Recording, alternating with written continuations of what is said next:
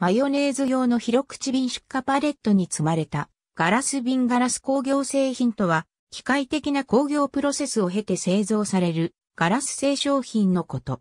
その製法は二つに大別され、板ガラスを製造するフロートガラス法と瓶ほかガラス容器を製造するブロー成形法がある。本記事では主にガラス容器の製造工程について説明する。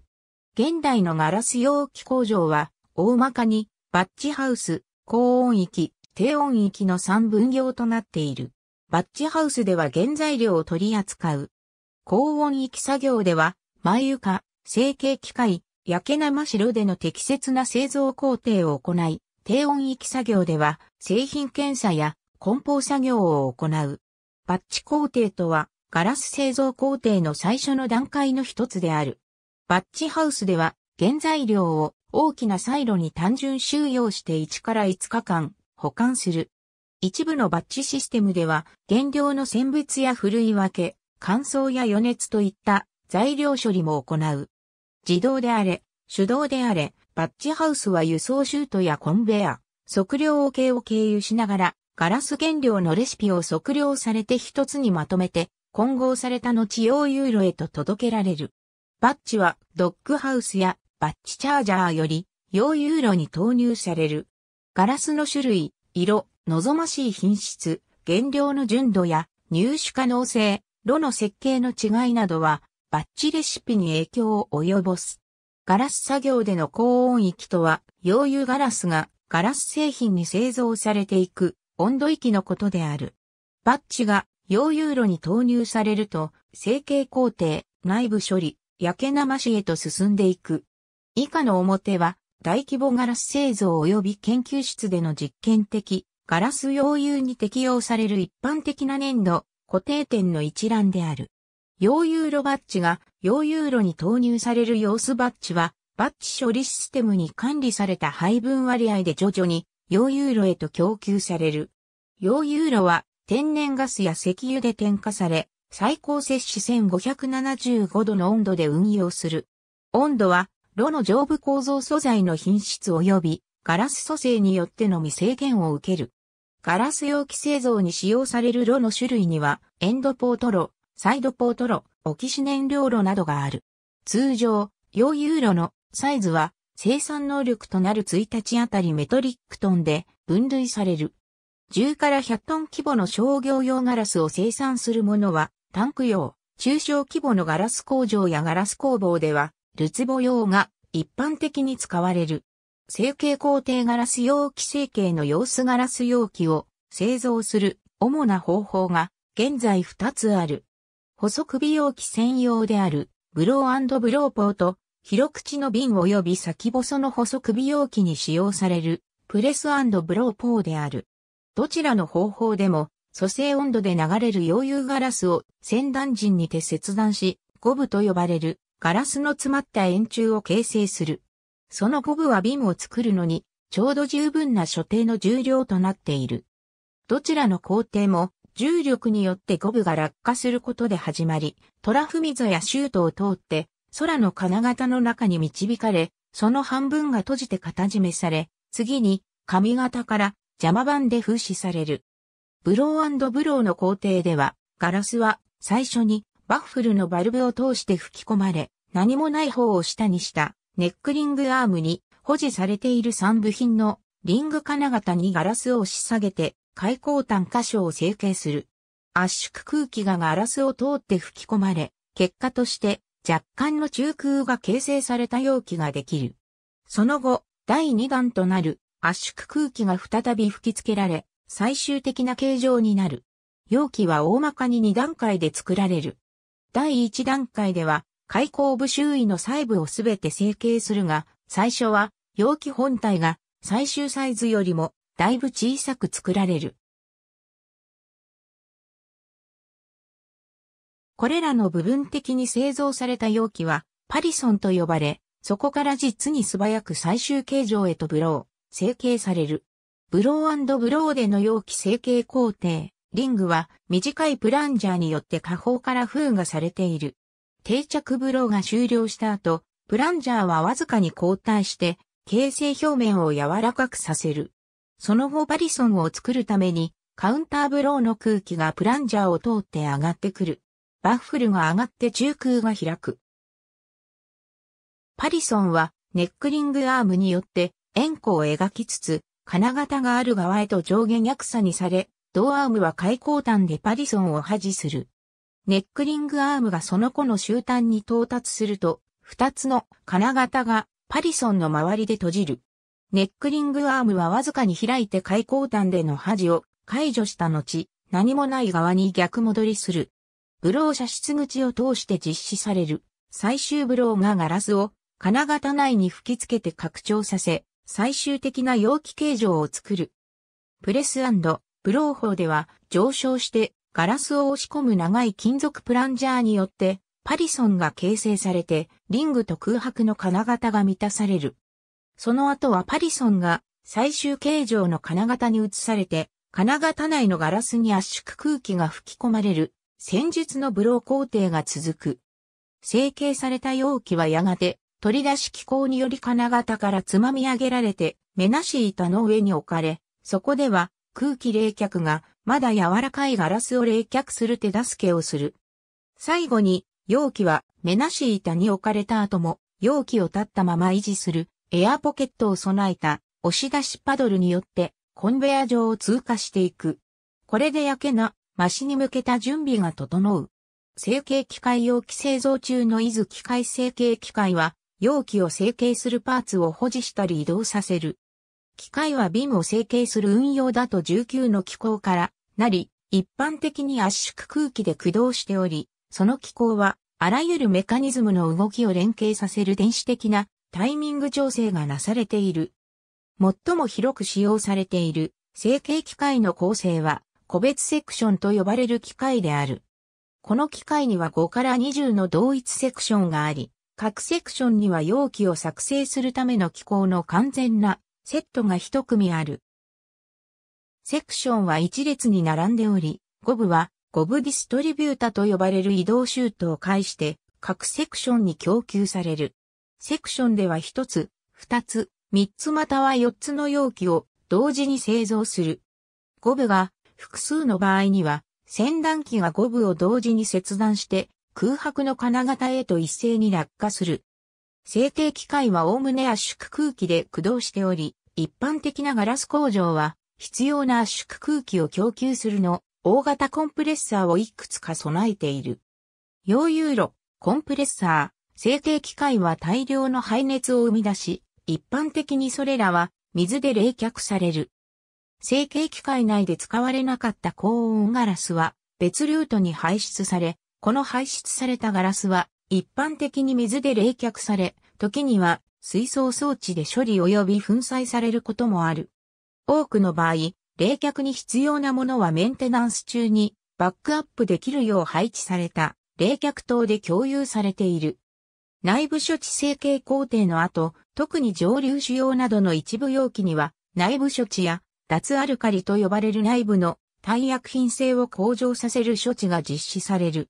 これは、通常、硫黄、または、フッ素含有の混合ガスを高温で瓶に注入することで行われる。典型的には、成形工程で使用される空気や成形後に、瓶の開口部にガス流を入れるノズルを通してそのガスが容器に送り込まれる。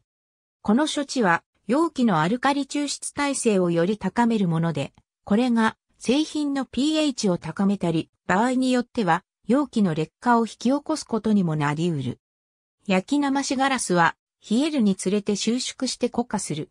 不均一な冷却は歪みとなって弱いガラスにつながる。均一な冷却を行うのが焼けな、マシである。焼け生白が容器を約摂氏580度に加熱し、その後はガラスの厚さに応じて20から60分間かけて冷却する。ガラス容器製造での低温域の役割は製造工程の最終課題をこなすことにある。具体的には耐摩耗性と潤滑性を高めるためにポリエチレンコーティングを吹きかけ、容器の血管を検査し、容器にラベルを貼り、出荷用に梱包していく。コーティングガラス容器には通例だと2回の表面コーティングが施される。1回が高温域での焼き生し直前、もう1回が低温域での焼き生し直後である。高温域では安全な有機化合物、または無機塩化鈴を使って酸化鈴の非常に薄い層をつける。鈴を基本とした方式だけが使用されるわけではないが、最も普及している。4塩化チタンや有機チタン酸ジオが使用されたりもする。どの場合でも、コーティングは低温域にて、ガラス表面と剥離しないよう処置する。低温域では、典型的には、水小エマルションを介して、ポリエチレンワックスの層が塗布される。これはガラスを滑りやすくして、ガラスを引っかき症から保護したり、容器がコンベアを移動するときに、互いがくっつくのを防いでいる。この結果生じる目には見えない複合コーティングが、ガラスに事実上昇のつきにくい表面をもたらしている。取り扱う際に表面が傷つくことが少ないので、コーティングはしばしば補強とも説明されるが、より正確な定義は、強度保持コーティングになるだろう。検査装置ガラス容器は100%検査されている。自動機械や時には人間が様々な歌詞についてすべての容器を検査している。典型的な歌詞にはチェックと呼ばれるガラスの小さなひび割れやストーンズと呼ばれる石地物含有がある。これらは最終的なガラス製品に破壊をもたらし得る要因であるということから選別することが特に重要である。例えば、これらの素材は大量の熱エネルギーに耐えられるため、加熱した際に、それが熱衝撃を引き起こしてガラス製品を爆発的に破壊させかねない。他の血管にはブリスターと呼ばれるガラス中の気泡や極度に薄い壁面などがある。ガラス製造において一般的な別の血管はティアーと呼ばれるものである。プレスブロー成形では仮にプランジャーと金型の位置がずれていたり、不適切な温度に加熱された場合に、ガラスがもう片方の部品に貼り付いて、酒割れを起こしてしまう。二次工程容器工場はたまにラベル付けといった業務をこなしたりもする。いくつかのラベリング技術が利用可能で、ガラス特有のものでは、アプライドセラミックラベリングという工程がある。これは、放浪塗料で容器に装飾をスクリーン印刷した後、焼き付けするものを言う。初代のコカ・コーラボトルが、その一例である。梱包ガラス容器は、様々な方法で梱包される。ヨーロッパでは1000の4000個の容器をまとめた、バルクパレットが普及している。これは、シート層で仕切られた容器を並べて積み重ねる、自動機械によって行われる。他には、箱とか手縫いの袋さえあったりする。一旦梱包された後は、新たな在庫単位が記入されて保管される。先進諸国でのガラス容器製造は成熟市場ビジネスである。2009年の板ガラス世界需要は約5200万トンであった。米国、ヨーロッパ、中国が需要の75%を占め、中国の消費量は1990年代初頭の20%から50%へと増加した。ガラス容器製造は地理的なビジネスでもある。製品は重くて容積が大きく、主要原材料は一般的に容易に調達可能であるため、製造施設は市場に近い場所に置くことが求められる。典型的なガラス炉は何百トンもの溶融ガラスが入っているため、それを毎晩停止や実際には1ヶ月未満で稼働停止させるのも実用的ではない。そのため工場は週7日24時間稼働している。これは生産効率を数パーセント以上増減させる機会がほとんどないことを意味する。新しい溶融炉と成形機械には数千万ドルの費用がかかり、少なくとも18ヶ月に及ぶ計画が必要となる。こうした事実や通常では、機械ラインよりも多くの製品があるという事実を考えると、製品は在庫から販売されている。そのためマーケティング、製造の課題は短期4から12週間及び長期24から48ヶ月の両方で需要を予測することである。大型工場は一般的に都市の需要を満たす規模であり、先進国では通常100万から200万人ごとに工場が一つある。典型的な工場では1日に100万から300万個の容器が製造される。成熟市場製品としての位置づけにもかかわらず、ガラスは消費者に高い評価を受けており、高品質のものが認められている。ガラス容器は完全にリサイクル可能で、多くの国のガラス産業は高い回収率を確保するべくカレットを高価格に保つという時には政府の規制で義務付けられた政策を行っている。北欧諸国では返却率95%が珍しくない。他の国では回収率50%未満が通常である。もちろん、ガラス容器は再利用することも可能で、発展途上国では、こちらが一般的であるが、採用会に対して容器洗浄の環境への影響がどの程度になるかは不明瞭である。ここで考慮すべき要素は、洗浄に使われる化学物質や清水、そして使い捨て容器は複数回使用する容器の半分に満たないガラスの使用でより軽量に製造可能だということである。また、先進諸国が再利用を検討する際の重大要素は安全性が未知で品質不良な再使用容器を使うことのリスク及び、その結果生じる製造物責任といった製造側の懸念である。ガラス容器が他の梱包材と比較してどうなのかは検討が難しく、決定的なライフサイクル研究はまだ出されていない。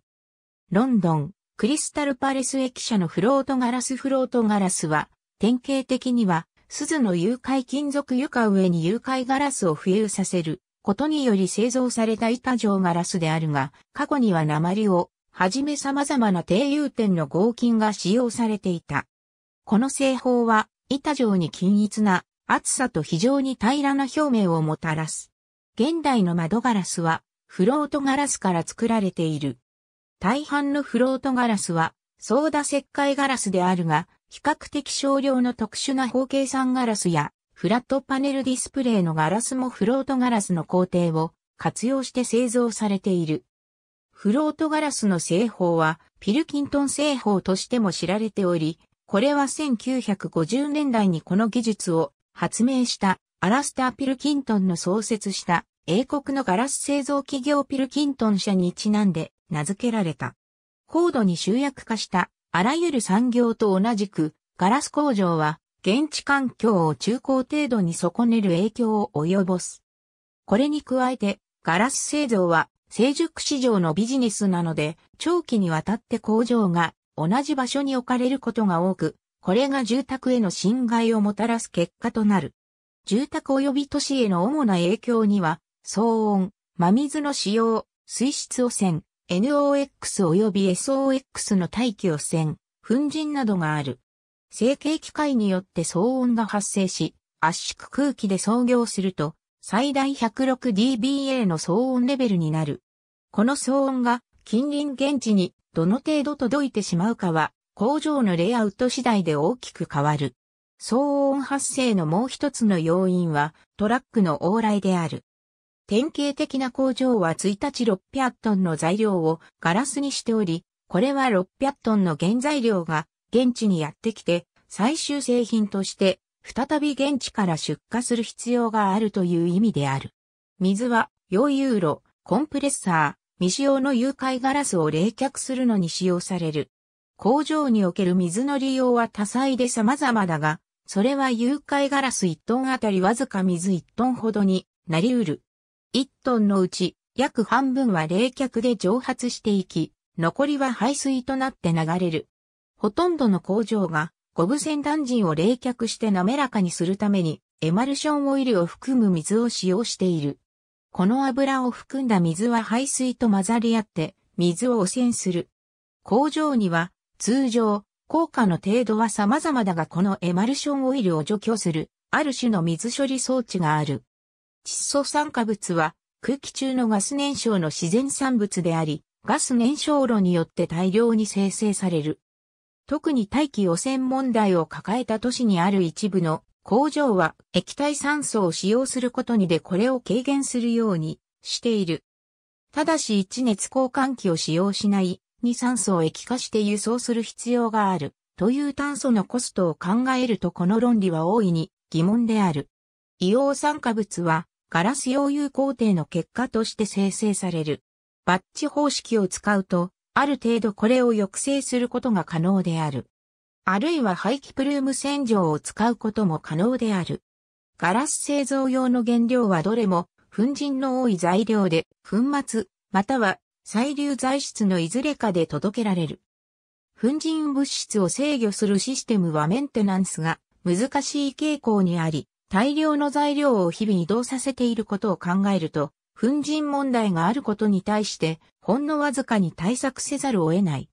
カレットはまたガラス工場内を動き回っており、投げ込まれたり割れた時に微細なガラス粒子を生成してしまいがちである。ありがとうございます。